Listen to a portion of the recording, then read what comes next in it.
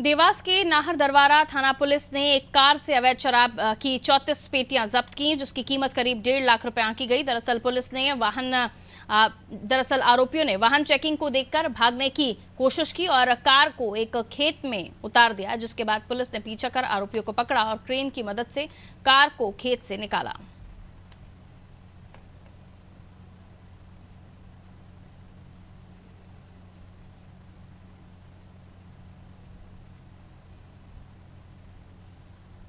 नाहर दरवाज़ा क्षेत्र में ये कार्रवाई सुनिश्चित हुई है, जिसमें कि करीबन चौंतीस पेटी देशी शराब और बियर की पेटियाँ हैं। कुल मिला के सैंतीस पेटी के कारोबार से जब्ती है और इसमें सफ़ेद कार भी जब्त हुई है।